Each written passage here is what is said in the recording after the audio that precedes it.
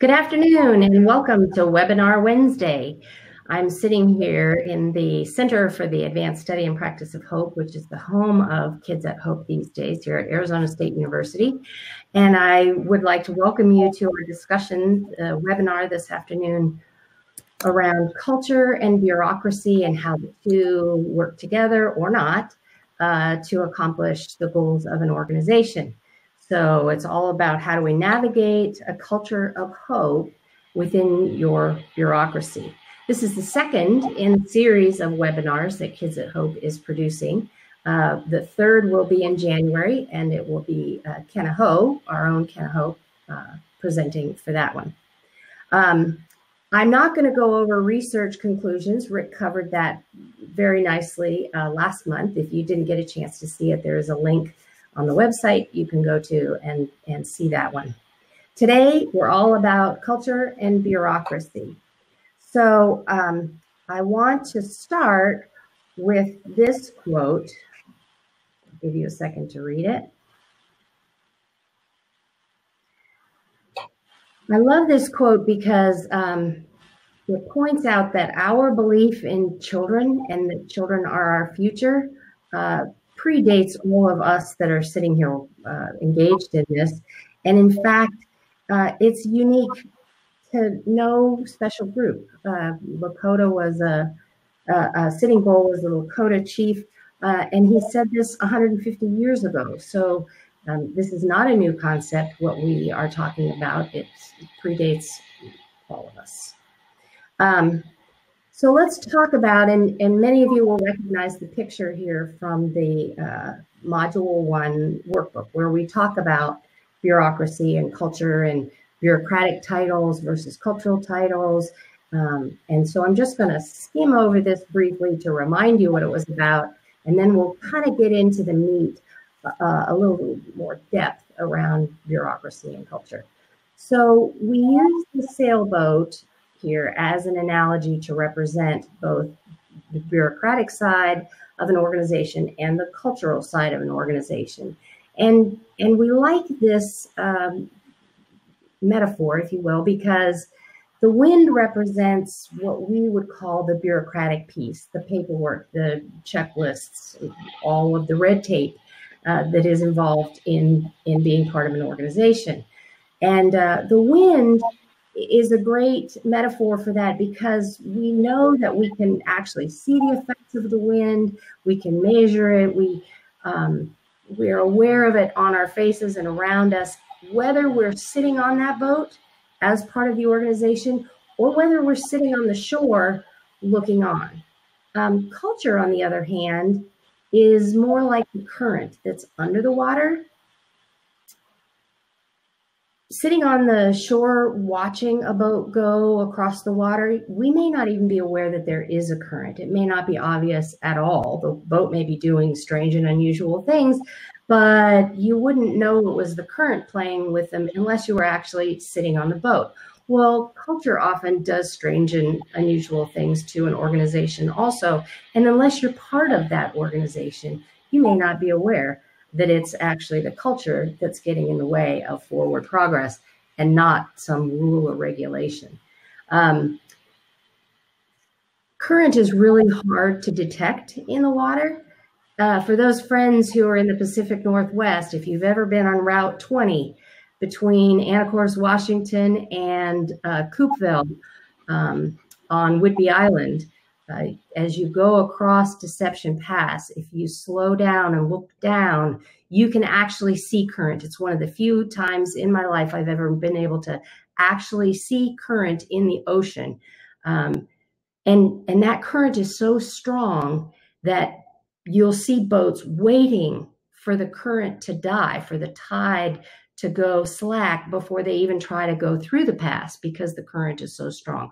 Culture can affect an organization in the same kind of powerful ways. So let's take a look at each of both bureaucracy and culture, each of these concepts a little deeper and see um, if we can understand them a little bit better. So bureaucracy is all about the things that we do. It represents the task dimension of the work that we do. And often um, bureaucratic uh, uh, bureaucracy is represented by goals, strategic plans, um, uh, lesson plans if you're an educator, all of those things that we write down and and create this uh, aspiration for in the future, and, and we're going to measure it and we're going to figure out how much progress we're making towards those specific things. Bureaucracy represents the mission of the organization.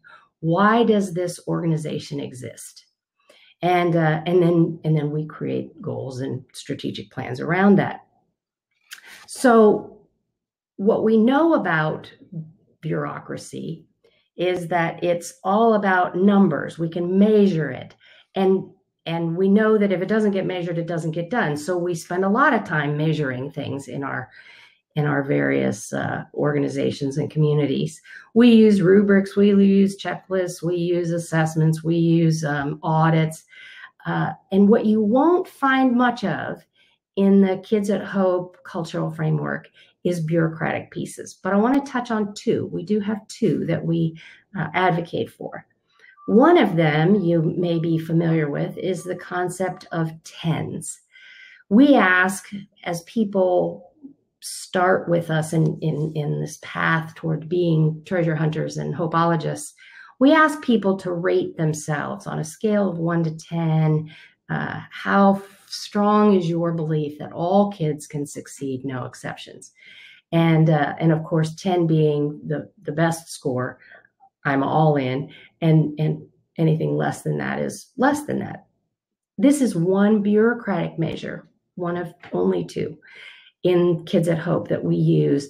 And it's an indicator for us of where our staff is or where our employees or where our community is in terms of our belief and how much more education or um, uh, modeling and coaching do we need to do to get people to be a 10 the other bureaucratic piece is something we call aces tracking and in this with this particular tool um, we ask an agency or an organization or a school to list all of the kids that they deal with, and then they invite the adults who work with those kids to identify those kids for whom they may be an ace. So I might say for three people on this list, I'm an ace of clubs for this one, this one, and that one. I may be an ace of diamonds for three other kids. My own kids go to that school. Guess what? I'm the ace of hearts for them.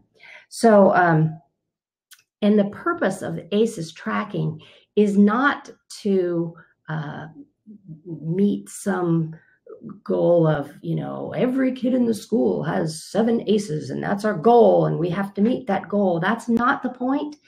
Um, the point is that we want to be sure that every kid in the school, every kid in the organization, every young person that we deal with is connected in some meaningful and sustainable way with a caring adult. That's the only purpose between the, behind the ACEs tracking. So those are the two bureaucratic pieces that you will encounter with Kids at Hope.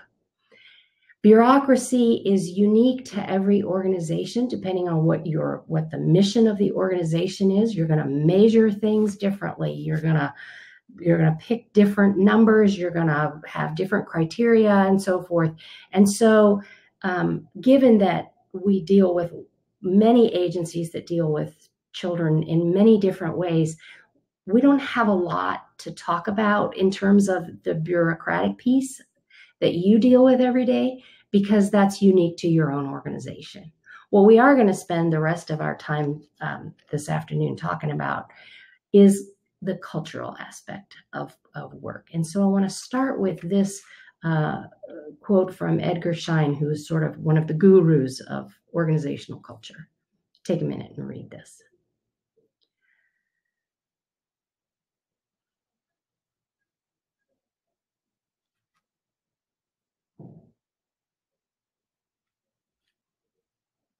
So I think uh, what we want to focus on is the idea that leaders create and manage culture.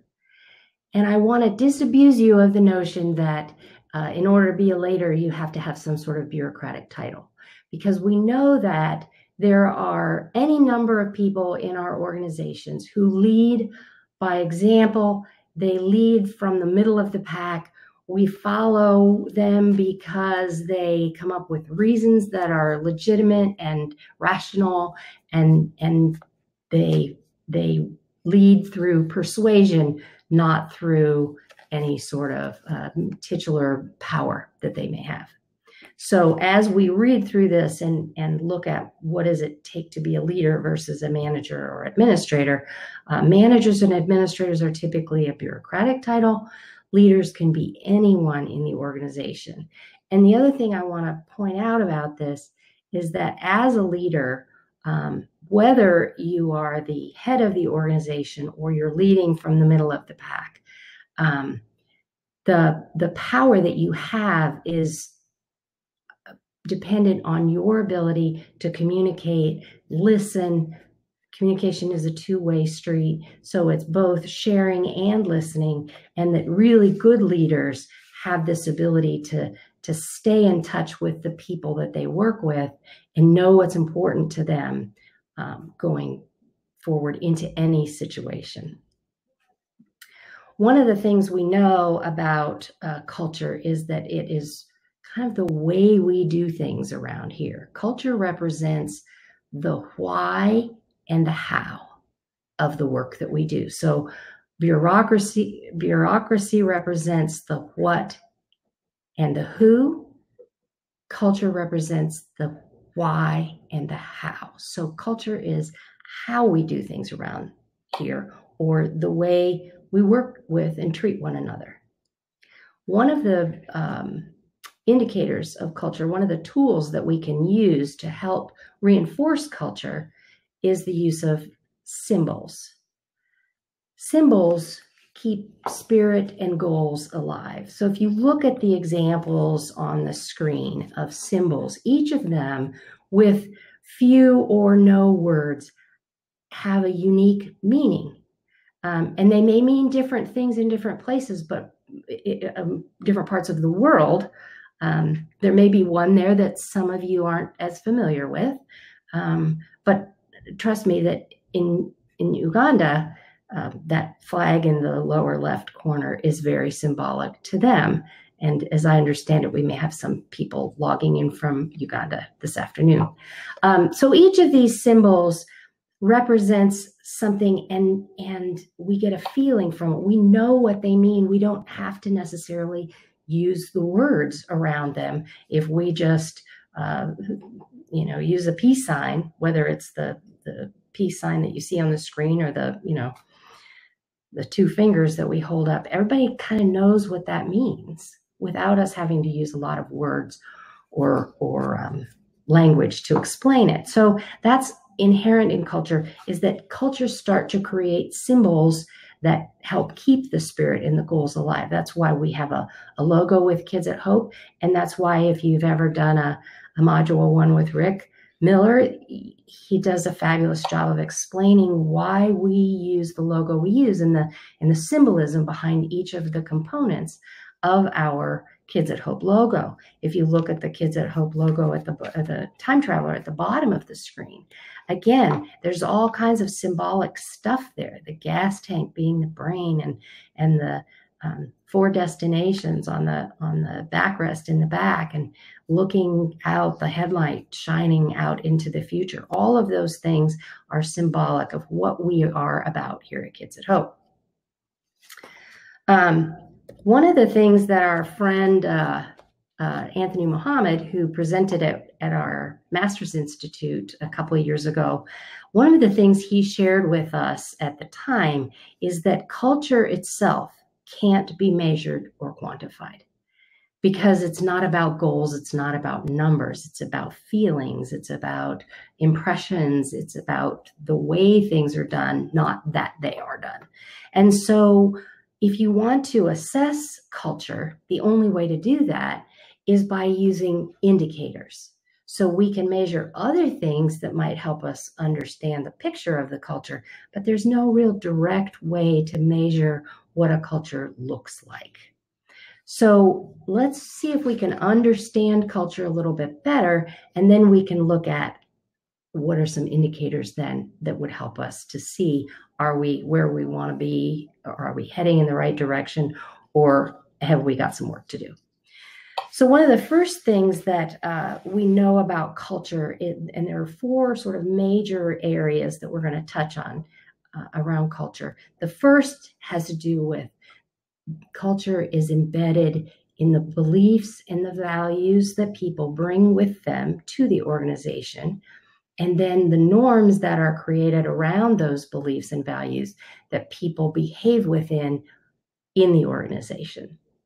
So as we as we talk about each one of these um, beliefs can be very personal but they can also be organizational so we of course would advocate that that you do everything you can to encourage the people who work with you and the people that you hire or bring in, that you encourage them in their belief that all children, no exceptions, are, are capable of success.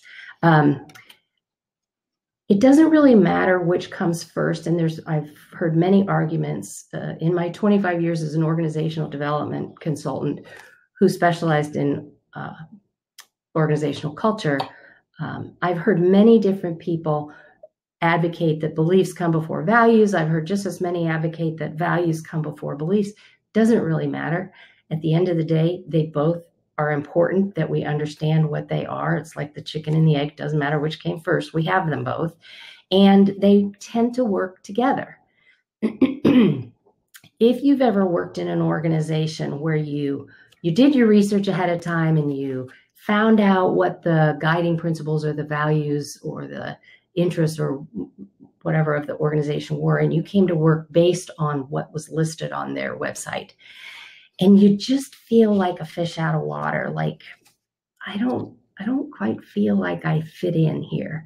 It may be that while they know that that's something they should value, that they don't actually uh, walk the talk when it comes down to it. And so that may be a disconnect that that some organizations have that that they know they should value something, but they haven't really figured out how to operationalize that. Um, examples of values, for instance, uh, we often talk about safety as an, a value that that organizations pay attention to when they're when they're a kids at hope culture. Uh, but we break down that safety value into there are really three different areas. So safety in and of, of itself may may cause you to think about one thing. And usually, that one thing, the first thing that pops into people's heads, has to do with physical safety. Um, you know, crossing guards or or um, um, security gates as people come and go are there to try to create a physical safety for the people who enter that that workspace. Um, but there are two other kinds of safety that we also want to keep in mind when we're talking about culture. And one has to do with emotional safety. Are we treating each other in a way that allows people to express their emotion in appropriate ways without being ostracized or put down in some fashion? And the and the and the third piece has to do with intellectual safety. What are we as adults doing with a kid who doesn't fall within the the sort of norms or parameters of intellectual safety.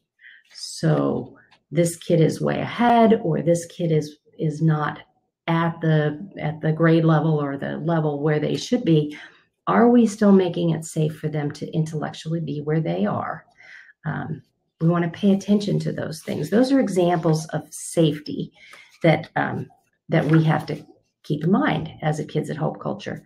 So the norms then we take those beliefs and those values and we start to operationalize those in specific behaviors that we engage in. Um, and and one of the things we want to pay attention to is do our norms then reinforce the values and the beliefs that we say we have? Do we say we uh, value safety but we we mock somebody who has an answer that is uh, not typical um, because then it's not safe and we've just violated one of our values so We want to be sure that our protocols, our behaviors um, align with the things that we value. What are we unconsciously practicing? Um, one of the things that uh, that we have to be aware of is assumptions that we may have. Assumptions are are deeply embedded in cultural tapestries. They sh- they shape our thoughts and our actions in very powerful ways, um, and we're often unaware of the assumptions that are underlying whatever our actions are. These assumptions, these fundamental assumptions, they grow out of our beliefs and our values, um, but we may not even be aware that we're still that, that that assumption is there. It's it's dropped out of our awareness, but it hasn't dropped out of our practice. A wonderful example of this is, uh, on a lighter note, is uh, uh, the story of the young the young newlywed who's making her first Easter ham, and she uh, proceeds to get the knife out and she she starts to cut the end off the ham, the ends off of either end of the ham, and and her spouse says to her, "What are you What are you doing? Why? What What does that do? How does I've never made a ham? How does that? What is that doing for the ham?" And and the young bride says, "Well, I don't really know. I just know that's always the way my mom made it. My dad made it." She says, "Let's let's call dad. We'll find out why." So they call dad. Dad says, "I don't really know why that was just always the way grandma made it. So that's the way I always made it. I never thought to ask why. Mm, the sign of an assumption. I never thought to ask why. And uh, and so they call grandma. And they said, Grandma, what does it do that you? Why do you cut the ends off the ham whenever you make a baked ham? Because um, I'm making one, and I started to do that, but we just aren't sure what that does for the ham. Well, Grandma started to laugh and said, I can't believe you all are still doing that. That was the only way I could ever get my ham to fit in the oven. So, what are the assumptions that we are still living with today that may or may not still be reinforcing values or beliefs that, that are what we want to be valuing and believing still? Um, what are you enabling with your norms? One of the one of the challenges i think as an organization is when you look at the and, and i'm going to transition into the next section which is um, rituals and coaching and modeling. Those those are also components of culture. What are some of the rituals or the um, celebrations if you will that that you engage in on a regular basis? Um, and are those going back to those values, beliefs, and norms that that we have identified. Um, so one of the things, and we've had discussions here about things like awards for kids. And are we are we singling out a kid out of the bunch? Is there really only one kid who deserves the award?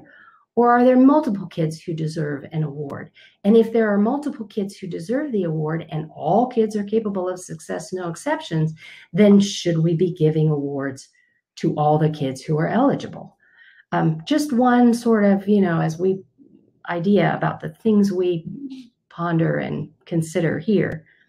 Um, so, what are you coaching? How are you modeling the beliefs and the values that you have in your organization? Are you holding others accountable for behaving according to the norms? Are you holding others accountable to uphold the beliefs and the values?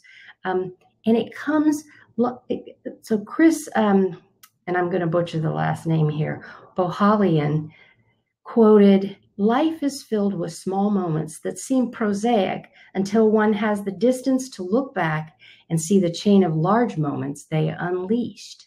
I love this because this this quote because it talks about the small moments.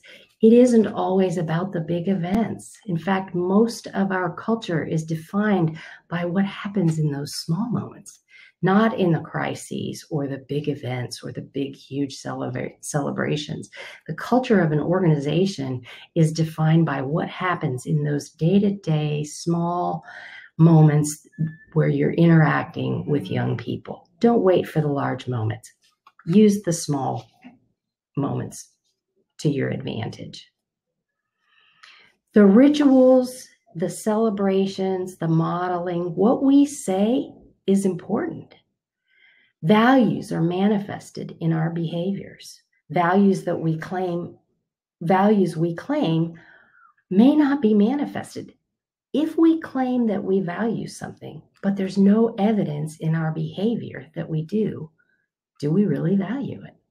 Take a look at the things that your organization says they value and then look around and evaluate are we really modeling that? Do the behaviors match that? Um, some manifestations, uh, examples of manifestations would be the way the way we greet each other uh, when we see each other in the morning or throughout the day. What rules are reinforced in our organization and how?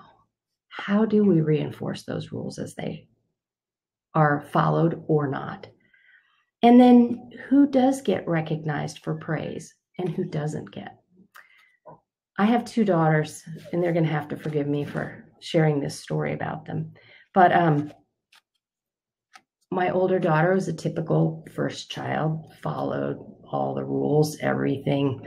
You know, she did everything the right way the first time and and didn't push too much those boundaries. Um, my younger daughter, on the other hand, uh, liked to push the boundaries, like to figure, well, you know, they would bring grade cards home from school. And the older one, her grade card on the, not the grade side of the grade card, but the other side, the checks were always in the right boxes. She was always meeting or exceeding the expectations around behavior and so forth. And, um, and the younger, yeah, you know, sometimes they check the, you know, she's chatting a little too much with her friends or she's not focused on her work or, you know, those kinds of things that, that happen to all kids. But what I found fascinating about uh, the rituals of the school um, was that they had a Student of the Month program, and maybe you do too. The Student of the Month never was awarded to my older daughter. She followed all the rules all the time. The younger daughter got Student of the Month on a couple of occasions because there was such a dramatic difference in her behavior. My challenge to you is why would you not recognize the kid who was doing it right all along? Are there kids who aren't being recognized by your rewards or your recognitions who deserve to be recognized, but because they're quiet and they follow the rules all the time, we feel like we don't have to reward them, we don't have to recognize them. But if we believe in all children, no exceptions, we should be recognizing every kid who meets our expectations, not just the ones who did it for the first time. I'll get off my soapbox about that. Um, so, are the small moments of believing, connecting, and time traveling being recognized in your organization among the adults? Because if the adults aren't recognizing it and rewarding it, you can bet the kids aren't seeing it as much as they need to. So, what formal rewards and recognitions are being given? Do these honor our, all our belief in all children, no exception? Um, and do we recognize those who connect with kids in small moments as well as those large moments? Are you modeling hope? We all know that you can't have hope and you can't teach hope unless you have hope. Are you modeling hope for kids? Because if they don't see you doing it, you can teach it till the cows come home, but they aren't going to believe it. You have to be doing it yourself. And are you coaching others in the culture and the vocabulary of hope. Coaching is dicey because many times this is with your peers, your colleagues. It's not necessarily with the kids. And so, um, this is, but this is where that cultural accountability lies. It's not, we can't hold people accountable through evaluations, but we can hold people accountable through coaching. And it's as simple as uh, anything else that you would coach someone on um, somebody new comes into the organization and and is using a, a phrase or a, a word that within your own organization is a hot button word for some reason, somewhere back in time. Uh, that word got a or that phrase got a negative connotation, and so uh, somebody leans over and says, "We don't use that phrase here. That's not that's not how we say things, or that's not how we do things around here." That's coaching, and you can do the same thing around kids at Hope. When when adults start talking about uh, a kid in their class and and if they go down the dream stealing villain sort of path um, do we encourage them back to the treasure hunter path of you know we don't we'll we let you vent a little bit but then we want you to get back on board the okay now talk about their treasures. What do you like about the kid? What does the kid have going for him? What are you finding out that surprised you and delighted you about this young person? Um, who do you hold up? Um, well, let me talk about mental models just for a second. Mental models are images, assumptions, and stories that we carry in our minds of ourselves, of other people, of institutions, of every aspect of the world. Mental models also shape how we act.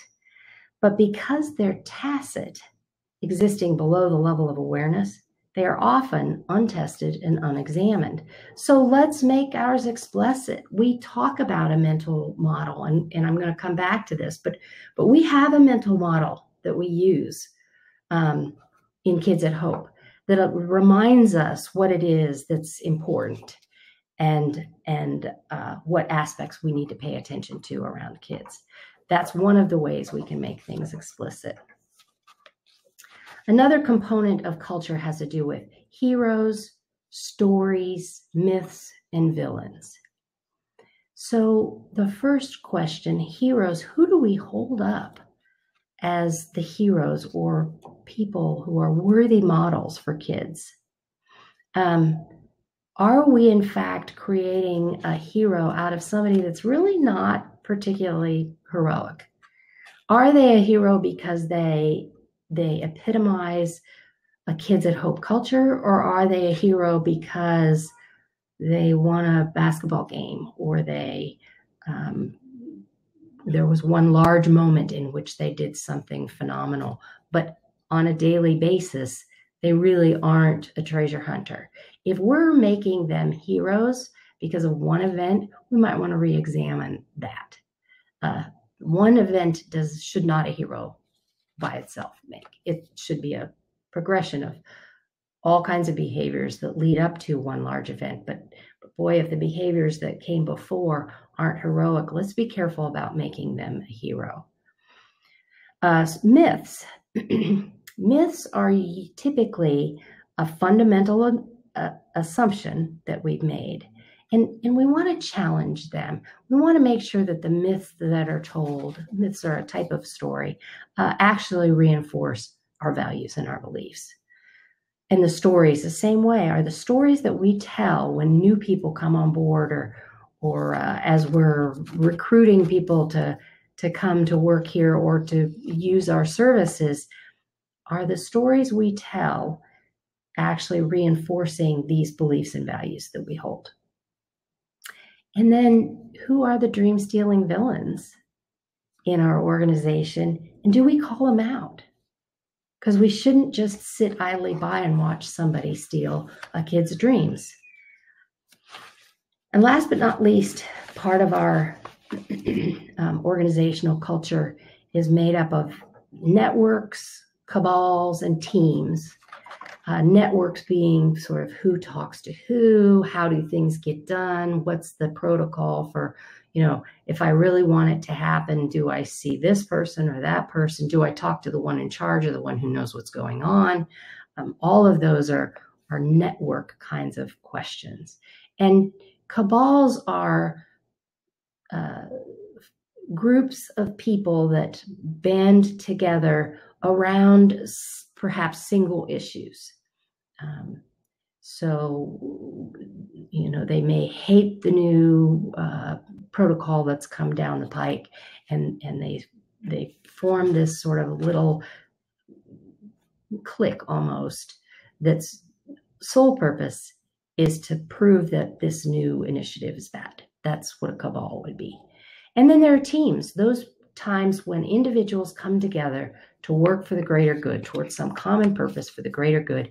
And it's all hands on deck and everybody's on the same page about the task that needs to be done. Then the only question becomes how do we as a team work together to get that uh, task accomplished? Um, and, and teams often are formed around and, and become stronger than the task that they are uh, created to accomplish. So we started off as a work team, but we've become so much more than that. Uh, we've got each other's backs. We make sure that, you know, if somebody's out for the day, we've got it covered. If if there's trouble brewing, we're we're we've got their back. You know, we've got their six all the time. All of those things define teams. So so as we as we look at this weird sort of um, organic structure here that is an organizational culture, all of these pieces come together uh, to create this. They're very organic in nature, they're very unstructured typically. Um, but what we need to know about culture is that cultural patterns are highly enduring. Um, they often exist long beyond the organization or the people in the organization who created the culture in the first place. Uh, and and you know we only have to look at sort of the geopolitical uh, conflicts in the world today, and we can see that that these conflicts and uh, predate anybody who's living today. They go back hundreds of years, but the but the cultural pattern is so enduring that it's really hard to find ways out of those old conflicts. So cultural patterns are highly enduring. They have a powerful impact on performance and they shape the way people think, act, and feel. So let's come back to Kids at Hope and talk about the cultural patterns uh, of Kids at Hope. When we talk about how it shapes the way uh, kids think, act, and feel, when we talk about the um, enduring nature of it, Oops, sorry, I went ahead of myself here. Um, part of this enduring nature of culture is apparent in our universal truths. We have three of them. Children succeed when they are, we know there are three of them, when they're surrounded by adults who believe they can succeed. They succeed when they have meaningful, sustainable relationships with caring adults. And we know they can succeed when they can articulate their own future and in four destinations. So those are the those are the things that we know endure. Those three research findings. The impact on performance, we know that if kids have more ACEs, they have a greater chance of success. It improves their odds tremendously. With no ACEs, it, they're virtually guaranteed they they're going to struggle their whole lives. They are going to be the ones who fall through the cracks. Um, and and with the more aces they get, the better their odds of being successful. In our own um, Anthony, uh, I'm sorry. Um, yeah, name went just went right out of my head. Um, but we have examples. You have examples in your own life of of these kids that we know we have bumped their trajectory to something better because of the connection that we have had with that particular kid. And then um, in the way that that we uh, kids at Hope, you as treasure hunters and hopeologists, the way you think, act, and feel around kids, the things that they think about themselves, the idea that they now have a growth mindset, uh, and that we are their treasure hunters and that they actually have skills and talents and goals for their future. All of that is how they think about one another. They act, how they act with each other and with others. They connect, they're able to connect in meaningful ways. They learn that through us modeling and connecting with them. And then it shapes the way they feel because we believe in them. We teach them hope. That is also a feeling. It is science, but it's also a feeling. And that feeling of being eager and anxious to get on with reaching each of their four destinations, knowing that things are going to change along the way, but I can still I can still create my own future and it can be a good one that I've designed for myself. So um, I want to ask you as you ponder in your own organization, what is it that you as leaders are paying attention to? Are you paying attention to kids' treasures or their deficits? Are you paying attention to improvements or failures? Because the treasure hunters are finding the, tre- the um, treasures and the improvements. And dream stealing villains tend to spend their time looking and focused on deficits and failures as the end and not uh, just a, a data point that allows us to know where to start. We have we have five practices. Uh, here's our mental blueprint. We know that we start with a belief in all children, no exceptions. We connect with our four ACEs. We time travel to four destinations. That becomes our mental blueprint. We have five practices in the kids at, in a kids at hope culture.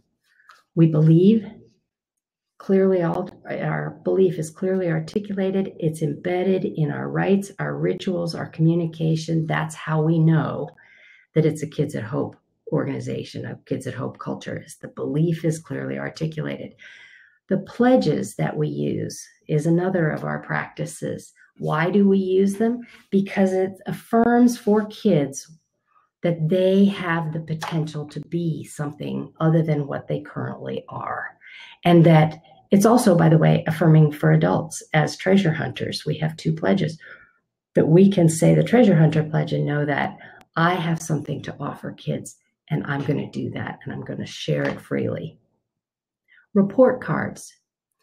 Report cards focus on potential, not behavior. It helps the kids see their talents. It celebrates their successes.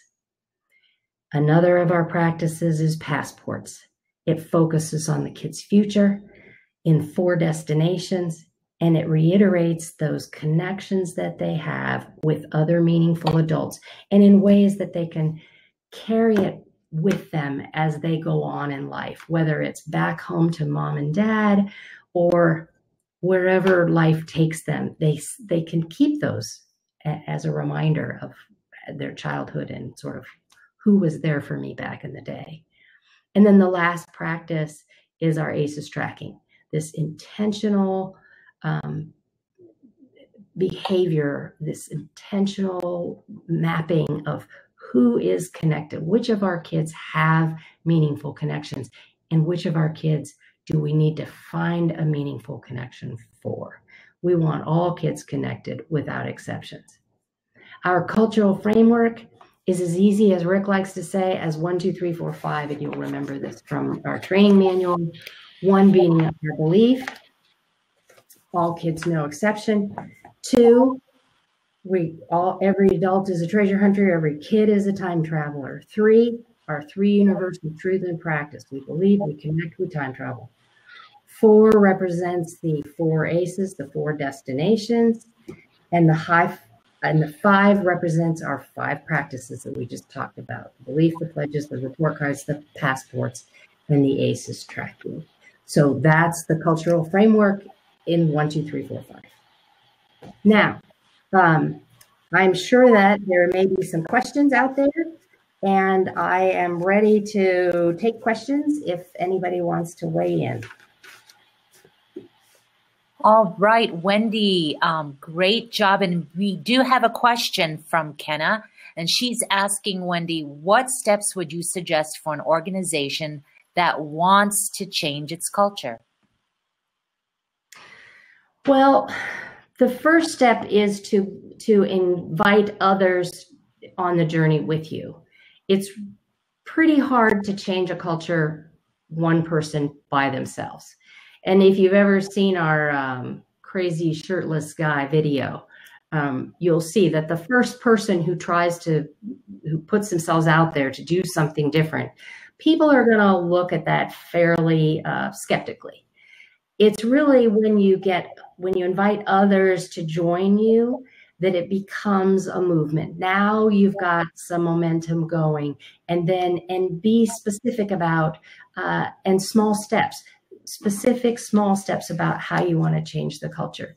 There's a story in a book, and I think it's from Good to Great, uh, where four young teachers uh, started at a school at the same time, and what they encountered at that particular school was a was a pretty negative culture uh, people didn't speak to each other. They they groused a lot. They were really negative, and and lunch times were gripe sessions. And and these four teachers were pretty disillusioned, and and but found each other, and decided that while they couldn't do anything about anybody else, they could among themselves do something differently to help each other out.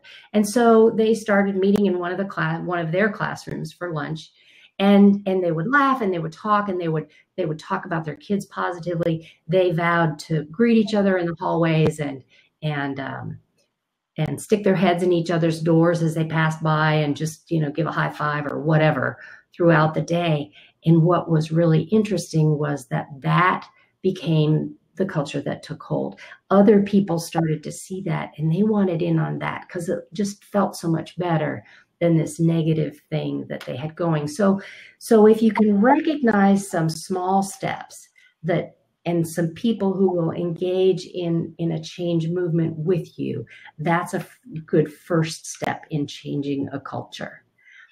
Be the be the treasure hunter even when no one else is, and invite others to to um, be a treasure hunter too. I'll give another example, and this is a personal one. It doesn't really have anything to do with kids, but um, I had a group of women friends that we would go away for a weekend periodically, and and uh, there's one woman in the group who who spent a lot of time complaining about her husband, um, and every time all of us there were six or seven of us in the group and every time we get together she'd complain about her husband and it got kind of old really quickly. And so we determined, because we were going away for this weekend, that every time that she brought up something negative about her husband, the rest of us would say something positive about our significant others. And which was personally for me, I was going through a divorce at the time. This was not an easy task for me to find something positive to say about a spouse I'm in the process of divorcing. But I was game. I I jumped in, and you know, even though it may have only had a minimal effect on her, it had such a great positive effect on the rest of us that we all left that weekend feeling better about spouses and ourselves. So we had an impact on the culture, even though it didn't change one person's behavior. That is great advice, Wendy. Uh, in fact, I could use that on my husband today. So awesome. And Wendy, we have somebody from Greenland here. His awesome. Welcome. Yes, and forgive me, Torborn, if that is mispronounced. But your question is any suggestions, Wendy, for a Western school and curriculum working in a native setting? I uh, you cut out on part of that, so I missed part of it. Sure. Any suggestions for a Western school and curriculum working in a native setting? So, one of the things that you have to recognize when you come into a place is that the culture of the of the community will help define the culture of the work that you do. So when you, I, I taught in Alaska for a while, so I and and dealt with Native Alaskan, the Native Alaskan culture, and it's very different from Western culture. Um, and so one of the first things we had to do was figure out the values and beliefs of that culture, and then try to figure out how do we appropriately embed their values and their beliefs, blend them with what it is we're trying to accomplish with them without trampling their beliefs and values. So there may be some pieces of your curriculum or your programs that you may have to at least temporarily let go of because they're never going to uh, allow you to change the culture if you don't value what they value. If your cultural ideas don't value what they value. I hope that helps. Thank you. And Torborn, um, welcome from Greenland. Wow. Awesome. awesome. Also, a shout out to Lynn Rosemary from Canada. And she says, Hi, Wendy. And also says, We love the Kids at Hope philosophy.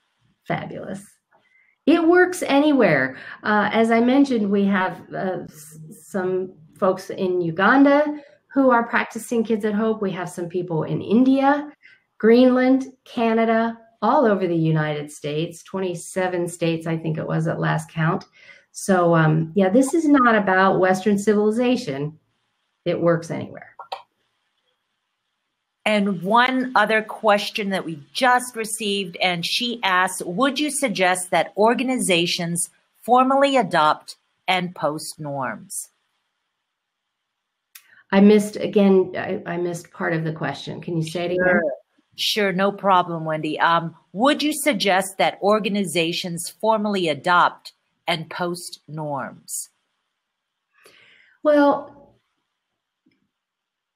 when I when I worked when I when I taught school because I started teaching way back in the day teaching school, um, I really only had three uh, ground rules or norms for my classroom, and and they were pretty generic, but they were applicable in virtually any situation. Um, the challenge in posting norms that that are for the whole organization is that if they if you get too specific um, they they tend to start to go by the wayside because we can't adhere to them all the time they aren't applicable in every situation so the three i used were that we start and end on time uh, that we um, we uh, treat each other with dignity and respect and um, what was the last one? We don't do we don't do damage to anyone or anything. Those were the three, and and they sort of saw me through whatever because I could make the case that uh, you know pretty much any any um, behavior that was off the charts um, I could point to one of those and say, hmm, are you treating people with dignity and respect if you're, you know, using sarcasm inappropriately or something like that. So um, I would I would say yes, generally speaking, norms are a good idea, um, but be careful about being too specific. That because then it gives people permission to start ignoring, and once they start ignoring, it's easy to ignore all of them. Awesome. Thank you, Wendy. And then it looks right. like that is a wrap up on the questions. All right. Thank you all so much for being here. Uh, we do have some upcoming events. Uh, the next webinar is Wednesday, January 8th at 1.30 Mountain Standard Time. It's Are You a True True Believer uh, with Kenna Ho, our own Kenna Ho. And uh, it's a deep dive into our universal truth number one. We have two mini masters coming up, both um, in March, one in Manitowoc, Wisconsin, and one in Pasco, Washington. And then we have our annual Youth Development Masters Institute here in Phoenix, May 3rd through the 9th. If you've never had a chance to come, you really ought to come. It's innovative, it's enlightening, it's energizing you'll walk away wanting to come back every year. So um, I highly encourage you to think about participating in each and all of those if you have a chance. Uh, if you do want to contact me, my email is wendy at kidsathope.org. Uh, or you can log on if there are questions or concerns you have, or you want to uh, sign up for any of those events that are upcoming. Kidsathope.org is our website. And um, there is another uh, website available there, the Sanford School uh, Center for the Advanced Study and Practice of Hope, that uh, we are also a part of. So we look forward to hearing from each and all of you. And I hope you have a great rest of your webinar Wednesday. See you all soon.